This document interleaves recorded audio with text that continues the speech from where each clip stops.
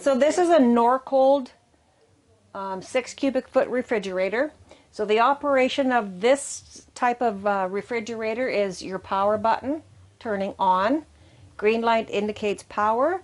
You'll want to pretty much always make sure your mode is in the position you want it to be in, such as this one,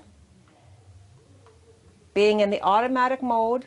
And being in the automatic mode will automatically locate whether you are plugged in to power or in this particular case, it shows that we are only on propane.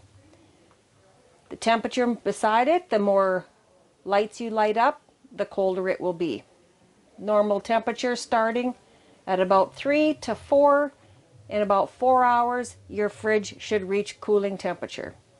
So again, you have three modes, electric only, gas only, or auto. And showing it will automatically locate the source it needs to function on.